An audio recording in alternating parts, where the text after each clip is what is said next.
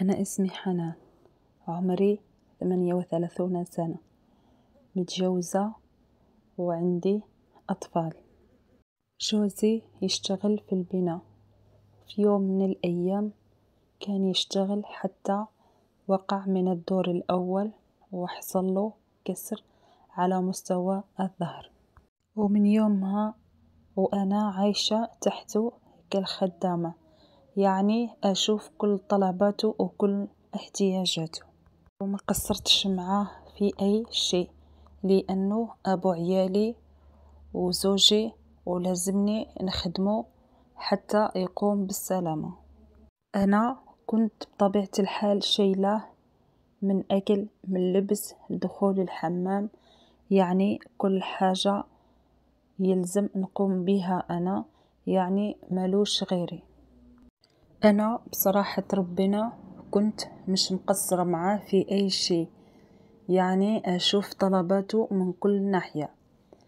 إلا أنه في إحساس جواتي يعني أني أنا اللي ناقصني أشياء كثير وأنا حاسة نفسي أني عايشة على جل مش نخدم زوجي وبس.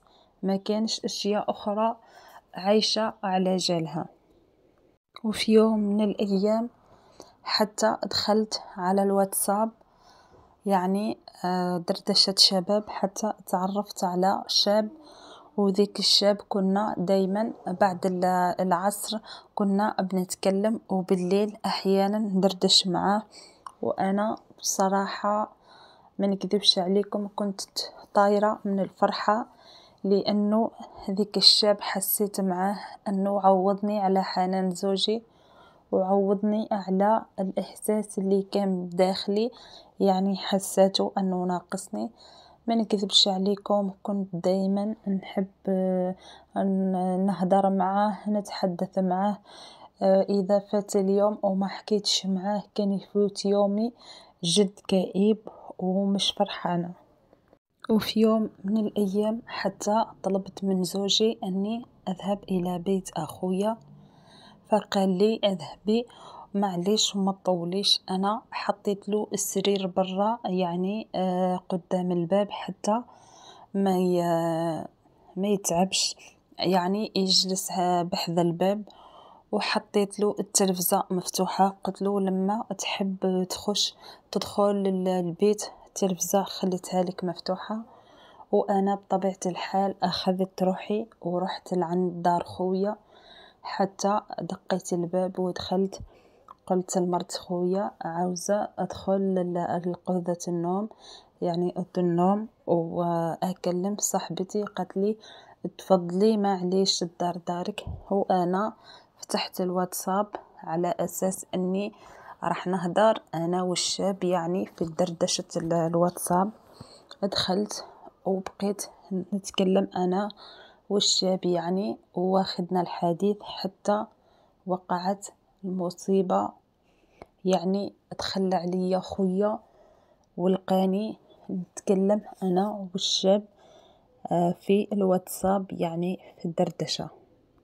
حتى دخل أخويا للغرفة وشاف كل حاجة. يعني شافني آه، نتكلم في الشاب يعني بال على مستوى الدردشة. حتى أخذ الهاتف مني وكان الشاب كان قفل السكة. عندما شاف أخويا دخل وأنا شافني أخويا في وضع آه، مخل يعني شاف كل شيء. حتى بقى يزعق عليا وقال لي كيفاه انتي تعملي كل شيء وانتي متجوزة. وقال لي راح نقول لجوزك وراح نقول لاخوتك الكبار يعني الأكبر منك.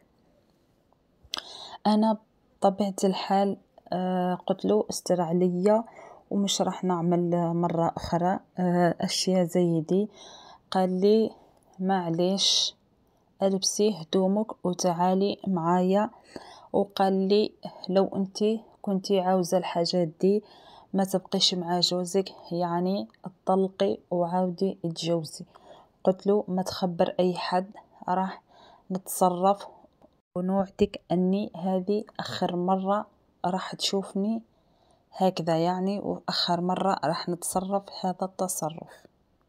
ومن ثم أخذني أخي لداري وحلف لي على التليفون يعني أخذه عنده وقال لي التليفون أنسيه.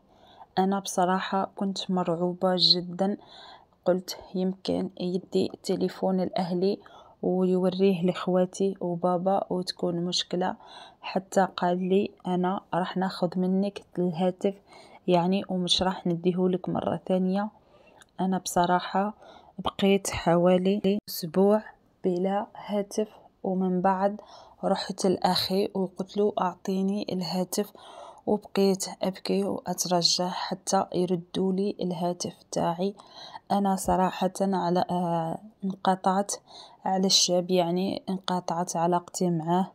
لكن خويا ما حبش يدهولي في المرة الأولى وقال لي ما يمكنكش أنك تاخذي الهاتف. قال لي راح تعيش بلا هاتف لأنك ما تصرفتيش تصرف إيجابي.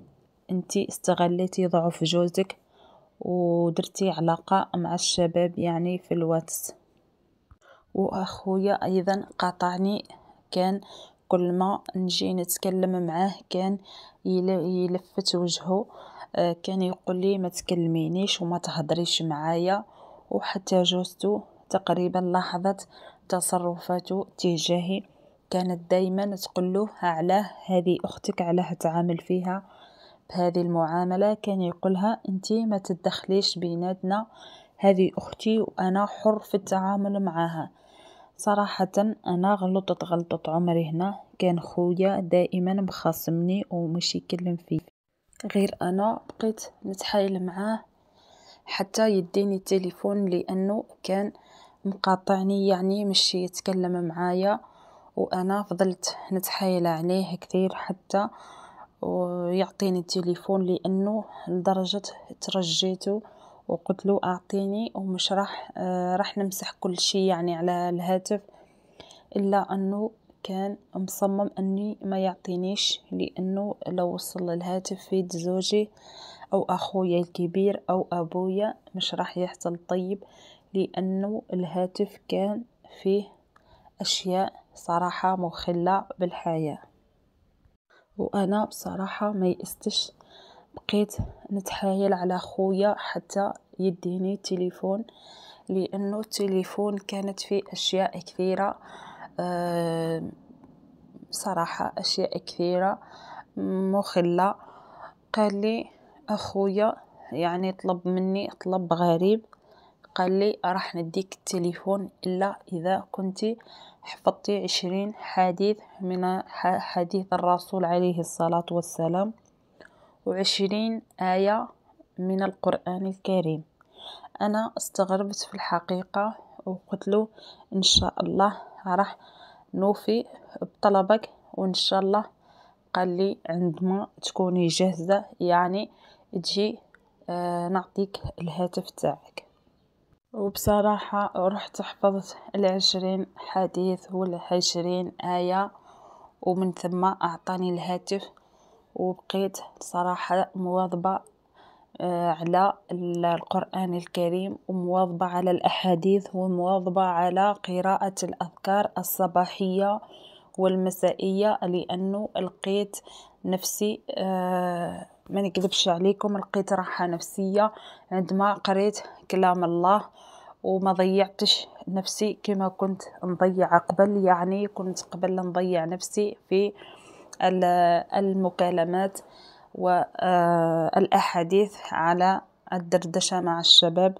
يعني وقتي بقيت نضيعه في قراءة القرآن الكريم. يعني الوقت اللي كنت نضيعه قبل في الدردشة. حطيته في القرآن الكريم وحطيته في الأحاديث النبوية وفي الأذكار المساء والصباح. لقيت نفسي بعدت كل البعد عن الشي اللي كنت نفعله. لقيت نفسي ارتحت ولقيت نفسي بعدت كل البعد على سن المراهقة اللي كانت تراودني والأفكار الشيطانية اللي كانت متسلطة على ذهني وعقلي الباطني. لقيت نفسي إنسانة أخرى ما شاء الله. لقيت نفسي تبدلت وتحسنت وقلت لابد أنه هذا الطريق اللي ربي اختاره لي راح نكمل فيه إن شاء الله. أنا بصراحة زعلت كثير لأنه أخويا شافني في ذيك الوضع المخل إلا أنه آه، ربي وجهني خير. لأنه أحيانا الشيء الصعب والشيء المش مليح آه، من بعد نتائجه تكون وعواقبه تكون مليحة. يعني لو ما كانش خويا شافني في ذيك الوضع ما كنتش راح نتبدل وما كنتش راح نتغير. لأنه لو كان إنسان آخر كان زاد أداني للتهلكة كان استغل الوضع وكان استغلني أنا أيضا. بس لما كان أخويا ما شاء الله وجهني خير وورالي الطريق المستقيم وورالي طريق الله وأنا الحمد لله. الآن بديت نصلي وبديت قايمة بالصلوات الخمسة وصلوات الضحى وبديت بالإستغفار وبديت بقراءة القرآن. وراني الآن على قرابة من ختم القرآن الكريم والأحاديث النبوية كل فين وفين نحفظ الأحاديث.